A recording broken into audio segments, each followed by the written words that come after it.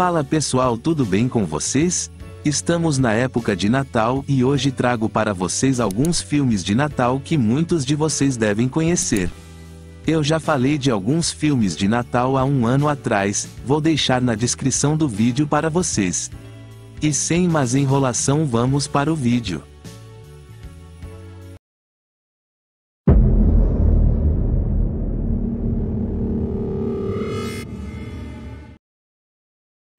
Titio Noel Lançado em 9 de novembro de 2007, pela Warner Bros. Pictures.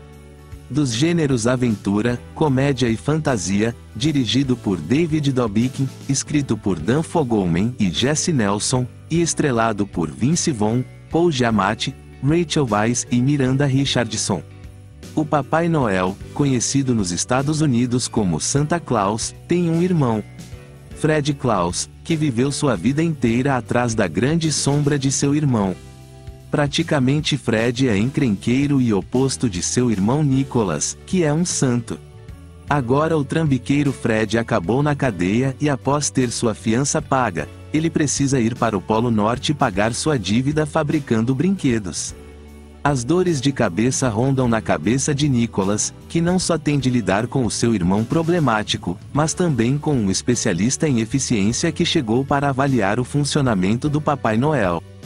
O filme arrecadou 18.515.473 dólares em seu primeiro fim de semana, e fechou em 14 de fevereiro de 2008 com um total bruto de 72.006.777 dólares na América do Norte. O filme não foi bem recebido pelos críticos. O seu orçamento foi de 100 milhões de dólares. Belo filme para ver nessa época natalina. E vamos para o próximo.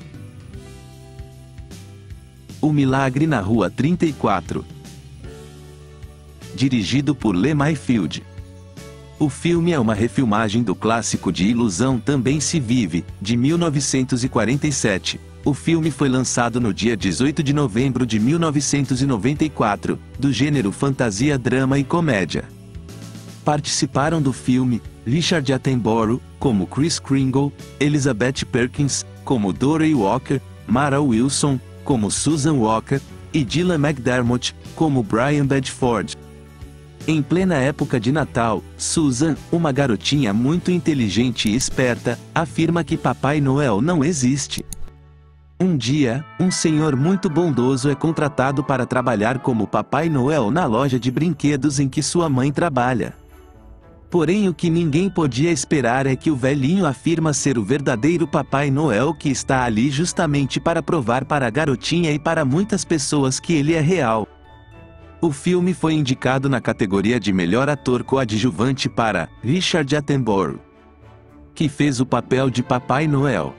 O filme em bilheteria conseguiu 46,3 milhões de dólares.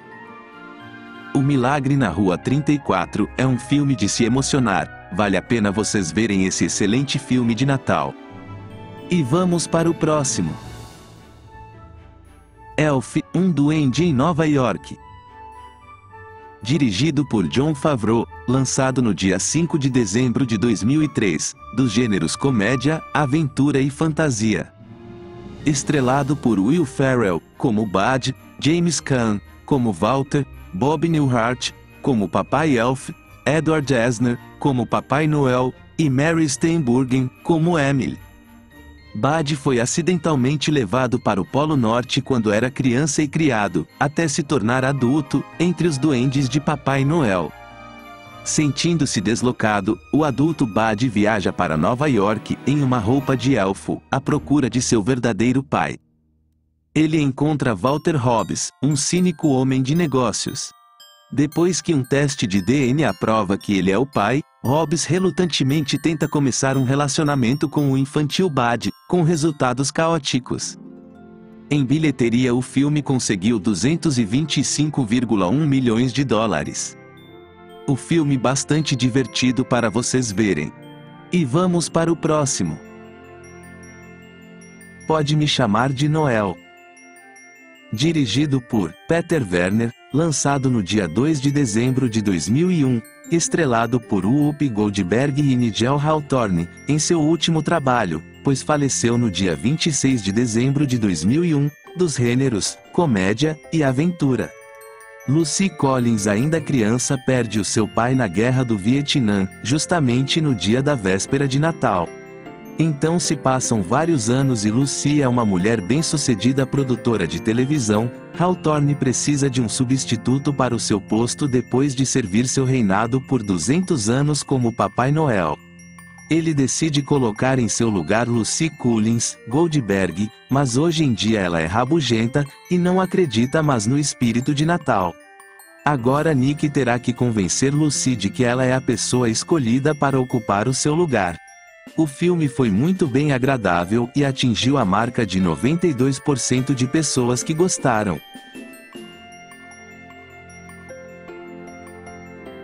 Por hoje é só galera, espero que tenham gostado do vídeo, não se esqueçam de deixar seu like, de compartilhar esse vídeo e de se inscrever no canal.